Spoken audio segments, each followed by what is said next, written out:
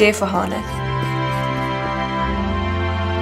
Choosing to study a BTEC in applied science was a big decision for you. It wasn't the traditional route of study, all your friends were taking their A-levels and you chose to buck to trend.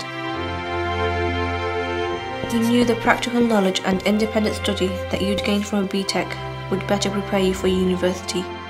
And even when people questioned you, you stuck to your guns.